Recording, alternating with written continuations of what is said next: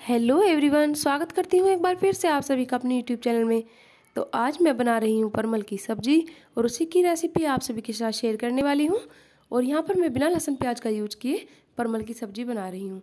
तो इसी की रेसिपी आप सभी के साथ शेयर करने वाली हूँ। वीडियो को ध्यान से देखिएगा। तो देखिए, सबसे पहले मैंने यहाँ परमल ले लिए, इन्हें अच्छे से धो लिया है और धोने के बाद मैंने कपड़े पर सुखा दिया था। तो उसके बाद मैंने परमल को बिल्कुल बारीक बारीक पतली पतली इस तरीके से काट लिया है। ये मैंने टमाटर ले लिए हैं चार से पाँच और मोटे मोटे पीस में काट लिए हैं। तो सबसे पहले मैं टमाटर को हल्की सी चिकनाई चढ़ाकर उसे दो से तीन मिनट के लिए भून लूँगी। यहाँ पर मैं टमाटर को भूनकर ग्रेवी बना रही हूँ तो इससे ग्रेवी बहुत ही अच्छी बनती है और सब्ज़ी के साथ बहुत ही अच्छे से लिपट जाती है।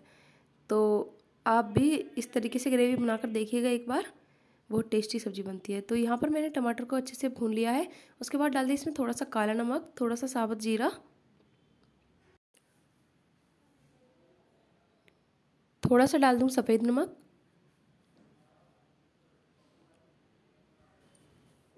थोड़ी सी डाल दूँगी हल्दी?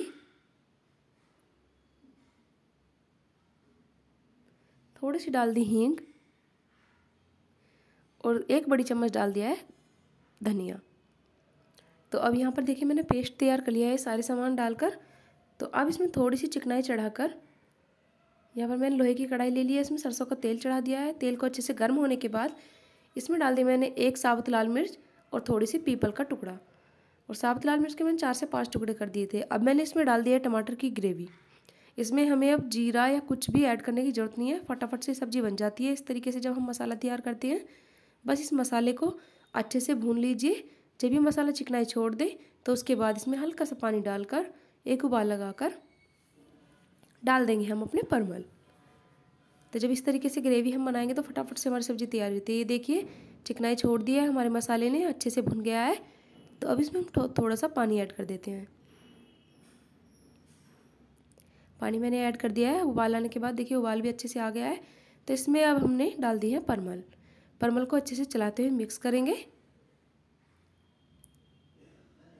और बिल्कुल धीमी आँच करके ढक करके रख देंगे पकने के लिए। अब यहाँ पर अच्छे से मिक्स हो गए हैं मसाले में। तो चलिए अब इन्हें ढक देते हैं। यहाँ पर मैंने ये ढक दिए हैं। तो कुछ टाइम के बाद देखेंगे हम अपने परमल को चेक कर लेते हैं। तो देखिए परमल हमारे लगभग बन गए हैं, तैयार हो गए हैं।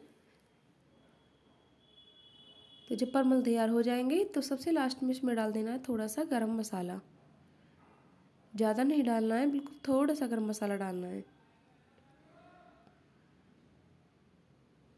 अब ये देखिए, परवल हमारे पक गए हैं, अच्छे से तैयार हो गए हैं। तो ये डाल दिया मैंने थोड़ा सा गर्म मसाला। और अब मैं लोहे की कढ़ाई से निकाल लूँगी एक सर्विंग बाउल में। तो देखिए परमल हमारे बन करके तैयार हो गए हैं। बहुत अच्छी खुशबू आ रही है और खाने में भी बहुत ही टेस्टी बने हैं। तो आप भी एक बार ट्राई कीजिएगा बिना लहसुन प्याज के। इस तरीके से मसाला पीस के परमल बहुत टेस्टी लगते हैं।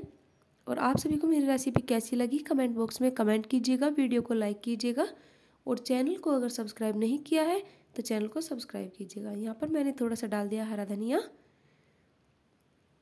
कल फिर मिलेंगे एक नई वीडियो नई रेसिपी